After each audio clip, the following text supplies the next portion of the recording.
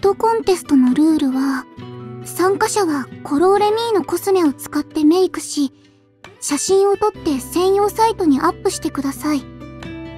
順位は一般投票で決まります。上位入賞者には豪華商品をプレゼント。か、メイクして自分の写真をサイトに。うーん、それはちょっと恥ずかしいな。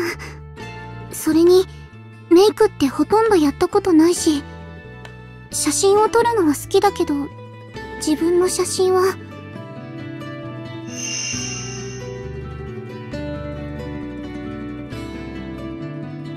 うう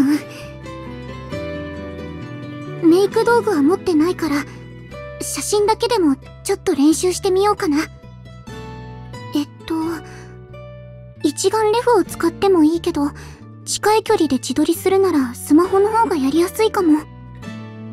えっと、人差し指と小指でスマホを持って、親指でシャッターを、あ、あれ？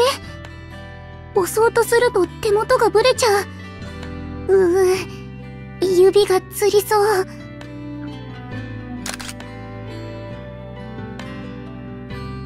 あシャッターを押すのに集中しすぎて全然カメラ目線になってないや。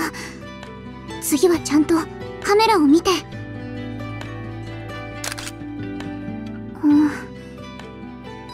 今度はカメラは見れてるけど表情が硬いな。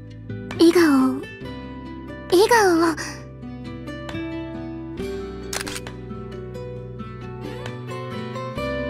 うーすごく引きずっちゃってる。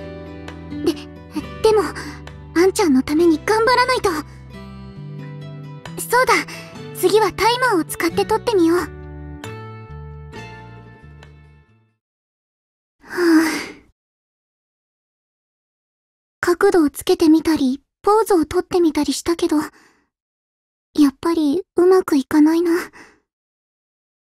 なかなかカメラに目線を合わせられないし、笑顔もぎこちない。うん、やっぱり私には難しいのかな。